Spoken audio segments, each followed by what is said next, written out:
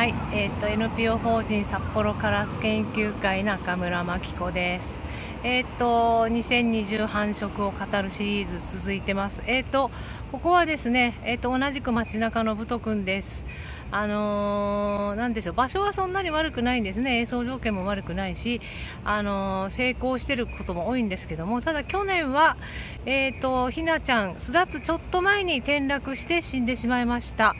で、今年なんですけども、えー、と、1回ね、一丁離れたところに作ったんですけども、なんか気に入らなかったのか、えー、と、ちょっと経ってからこっちに、えー、と一丁動いて、演奏しました。でその後ですね特に問題なくずっと動いてたんですけども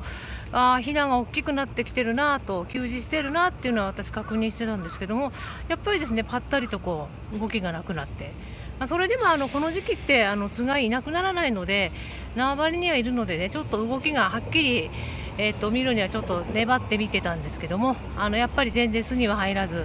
えーと、ひなの動きも声も聞こえなかったので、まあ、残念ながら今年は失敗してひなの姿は見られませんでした、えーと、と同じね街の中のカラスの巣でもあの場所もあるんですけどやっぱりその人が手出しするかしないかで全然威嚇って変わってきます。ないところは全くないのでなのでやっぱりカラスっていうのはすごく人の動きにね影響されやすいっていうかせざるを得ない生き物なんだなってことがよくわかります。それでは。